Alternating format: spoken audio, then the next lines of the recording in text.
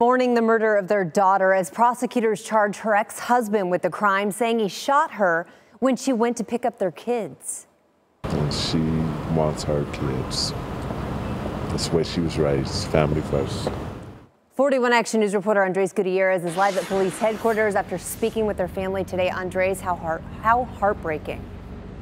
Yeah, Rhiannon, and the charges were filed this afternoon shortly after police spoke with the family. We're learning the husband, who's now ex-husband, who's now uh, charged with second-degree murder, tried to stage the crime scene, but surveillance cameras showed the truth every parent do not want that car, especially when you have girls.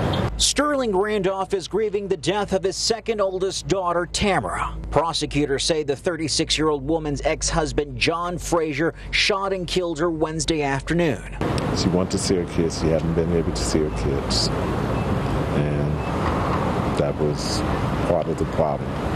According to court documents, Tamara Randolph and Frazier filed for divorce two years ago. They agreed to share custody of their two sons, but in late May, Frazier stopped the boys from seeing their mother.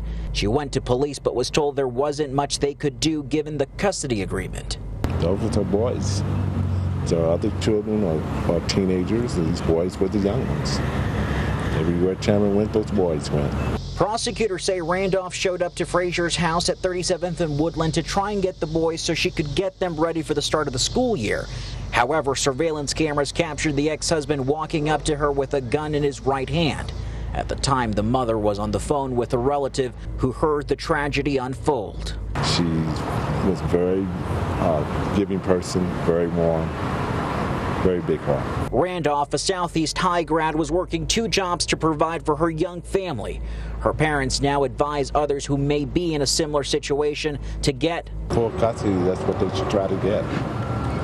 Because a lot of times the other parent is not going to follow the, the, the, the divorce decree.